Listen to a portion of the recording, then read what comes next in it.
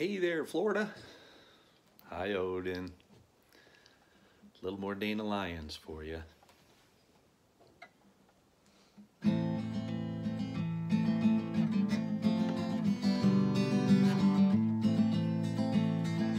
Cruising across the USA, taking in the land. Wider than a Cadillac, longer than a van. Capacity 16 children, four tubes of old toothpaste, three tanks for the gasoline, two tanks for the waste RV.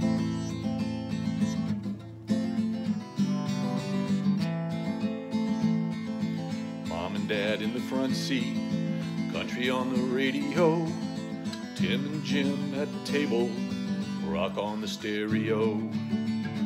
Sue and Lou in the back room, trumpet and clarinet.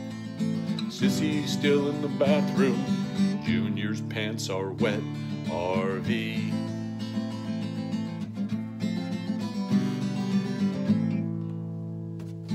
The modern cowboys ride on velvet saddles. On horses made of fiberglass they fly. Air conditioned covered wagons cross the prairie. The pioneering spirit never dies. RV.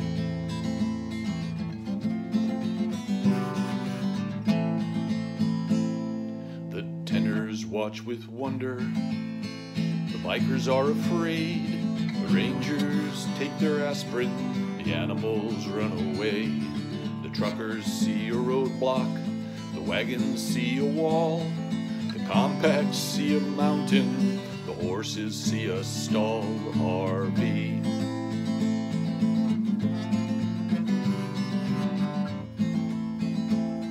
From Jersey to Miami without stopping. From Texas to Alaska in one day. The stories of these heroes are astounding. The tickets and the tolls they had to pay. RV.